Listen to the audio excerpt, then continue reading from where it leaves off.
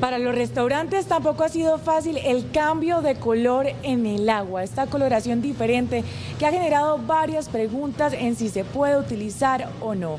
Y para saber cómo han tenido que adoptar nuevas medidas, los dueños de los restaurantes nos venimos a Engativá Pueblo.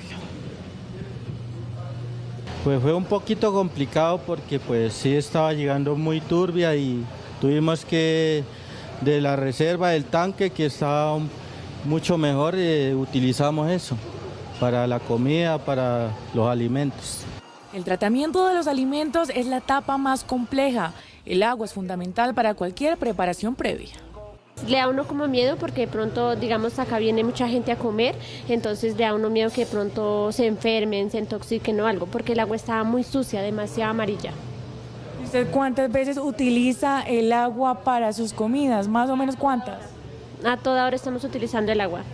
La alternativa de los dueños de restaurantes para sentir confianza es someter el agua a un proceso de limpieza. A tocar hervir el agua muy bien hervida, todo bien hervido y para los jugos pues siempre yo lo he comprado, eso sí no, no he tenido problema. Pero para, para los alimentos acá sí me toca todo bien hervido. Aunque no la hervía, pero igual siempre quedaba un poquito medio turbia. Hoy el panorama es un poco más alentador.